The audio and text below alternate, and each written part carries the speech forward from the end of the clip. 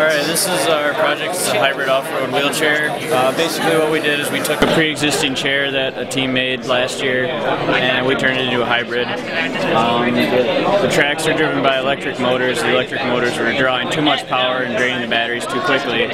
So we had to come up with a system to uh, charge the batteries uh, while the person was driving with zero input from the driver. Um, as you can see, we use a little motor with an alternator, and it's controlled by a controller in this box that'll turn the motor on and off. And then the system also records data about what's going on on the chair, the incline, the speed, and how much voltage.